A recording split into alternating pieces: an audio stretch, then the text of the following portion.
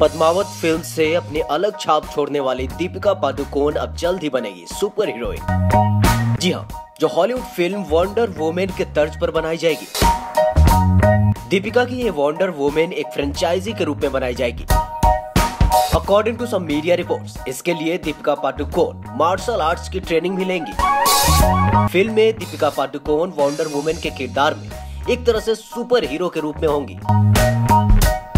वहीं आपको बता दें कि दीपिका पादुकोण फ़िल्म पद्मावत के बाद डायरेक्टर विशाल भारद्वाज के साथ गैंगस्टर ड्रामा फ़िल्म करने वाली थी, जिसमें उनके साथ इरफान खान भी थे।